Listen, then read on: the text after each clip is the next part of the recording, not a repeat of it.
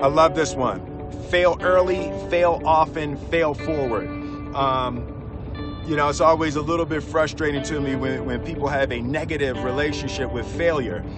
Failure is a massive part of being able to be successful. You have to get comfortable with failure. You have, you have to actually seek failure. Failure is where all of the lessons are. You know, when you go to the gym and you work out, you're actually seeking failure. You want to take your muscles to the point where you get to failure because that's where the, the adaptation is. That's where growth is. Successful people fail a lot. They fail a whole lot more than they succeed, but they extract the lessons from the failure and they use that the, the energy and they use the wisdom to come around to the next phase of success. You gotta take a shot. You have to live at the edge of your capabilities.